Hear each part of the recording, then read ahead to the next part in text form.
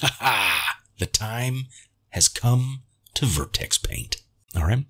Um, in our color attributes, we're going to add something called skin. And then our shader editor, we're going to go in Shift A, attributes, and find the skin attribute we just made. Okay. And then connect it to the principled BSDF. It should go away because we haven't given it a color yet. This is this one's actually gonna gonna be pretty fun. So uh, select any color that you want for your skin and just start painting your face. You can do something called a flood fill, which with uh, Shift K, K as in knight. Um, but in Blender 4.0.2, it wasn't working for me. Um, I had to do it manually. Okay. I don't know if you saw what I just did right there. You can add this color. So now it's part of your palette. Okay. Now I'm going to make, uh, I'm, uh, I'm going to do those rosy cheeks. So I'm going to add something that's just a little bit richer and a little bit redder. Okay. And now I'm going to add some reds around my lips, my nose, a little under eye and the cheek because uh, humans naturally have this. Okay. There's, there's an old way of painting that put, that puts reds across the middle of the face and yellows across the top of the forehead and kind of soft blues around the bottom of the chin. And that had to do with um, creating the illusion of depth on a two dimensional plane. Okay. So what I just did right there was I created another one, uh, another color attribute called skin tones, and I'm going to plug this one into the principled BSDF, go back and uh, create a new color. This one's going to be the yellows, okay?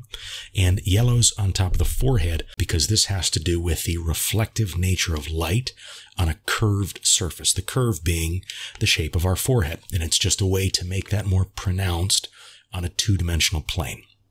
Okay.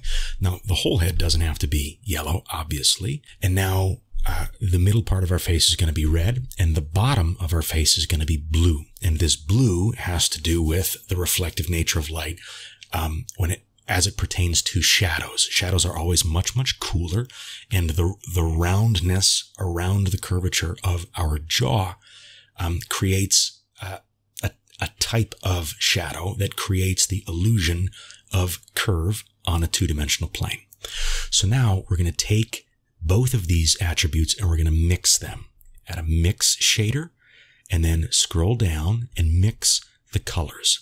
And just like that, you can see that we've mixed the two different attributes. The one that was the color of just the base skin, and then the other attribute that was the mixture of the red, the yellow, and the blue. Okay?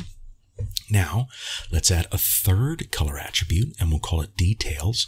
Come back over into our shader editor, Shift A, attribute, and then find um, find the name of the attribute that we just made, plug that in to our principled BSDF, and um, and now we're going to make this a little bit darker, and we're just we're going to create you know kind of the the hollow of our uh, brow line and our under eyes and inside the ear and around the lips and even the the curvature around the bridge of the nose.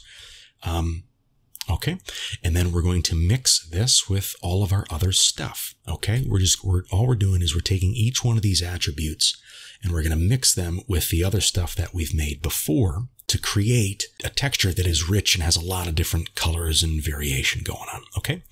So now we're going to create something called subsurface scattering. Okay. And then same thing, same thing, just mix those. Okay. And if everything uh, if you can't keep mixing, then you just need to add another mixer. Okay. And just like that, very quickly, we have a really pretty skin that we can wrap around our character that looks organic, right? So I just kicked uh, this over into cycles and activated my GPU. We have to bake this now. Okay. So we're going to scroll down to bake and then select uh, diffuse and then the target is going to be an image texture. And you want to make sure to clear the image. Okay. And then you want to make sure you have the head selected and it, you'll immediately see our UV unwrapped image. This is super important. In the margin, make sure you set the margin to around two. Okay. And then same thing we did last time we baked. You want to add the image texture um, it doesn't really need to be connected to anything yet. That's not that big of a deal. And you want to call it head diffuse. You can call it whatever you want to. Head diffuse. That's fine. And then click bake. Okay. And just like we baked our multi-resolution modifier, now we're baking the skin that we just painted by way of vertex painting. Okay. And essentially baked in there. Now, same thing with the image. You gotta save the image. If you don't save the image and you X out of Blender, it goes away forever. And, uh, that's just something that we, that we never want to happen really ever. Okay.